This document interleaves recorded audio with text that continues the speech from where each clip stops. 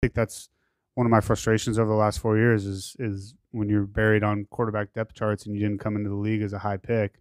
Yeah, you're frustrated. You're watching guys make teams that you've you know objectively feel like you're better than, and you kind of just have to wait around until it's like you know they didn't draft a guy here this offseason, and that really was the main reason I had an opportunity, and that's kind of been something that I've battled. So yeah, I think I take a lot of pride in going through the last four years and keeping my head on straight. I've watched a lot of good quarterbacks go through those situations and either lose their confidence or just get frustrated or whatever it may be.